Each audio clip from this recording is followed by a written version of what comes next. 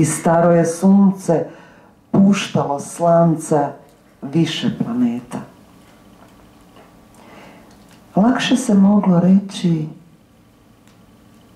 jednostavno zbogom.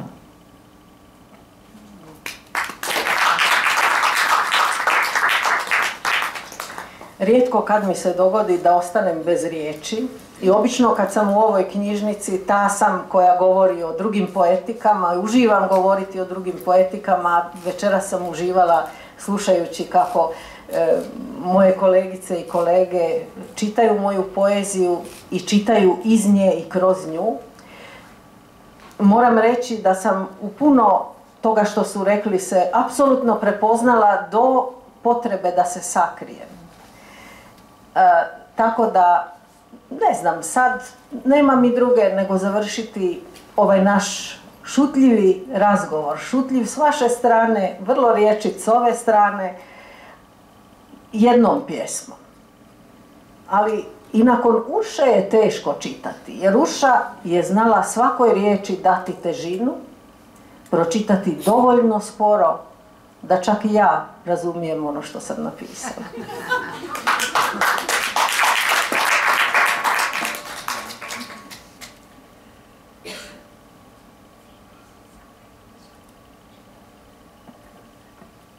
Čuvar sreće.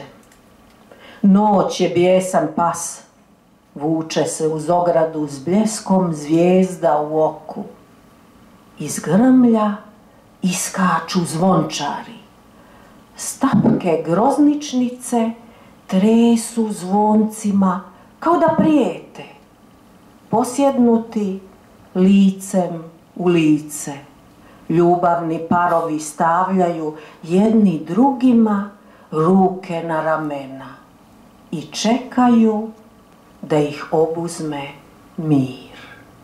Ni za pedalj se ne smiju pomaknuti.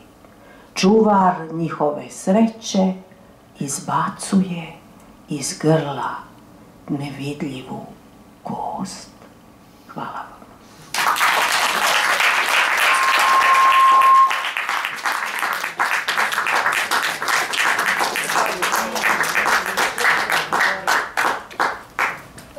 Evo, ovaj, hvala svima, mislim ja govorim koji izdavači, eto, ovaj, nemojte se odmah razići, volio bi da malo još prokomentiramo sve, ima tu ovaj, malo vina, malo ovaj, crnog bijelog, imamo i nekih domaćih kolača i višnjino vino i ostani tako Bože. Možemo kupiti knjigu.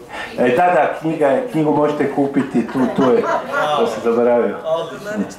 Ja sam tu loš trgovac knjigama. Damir je veliki izdavač, ali skroman prodavač.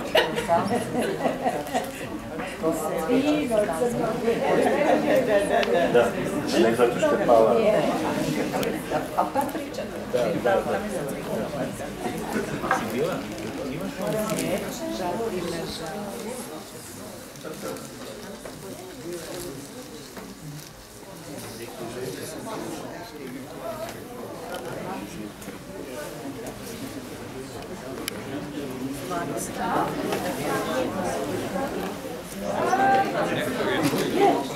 Wow. Thank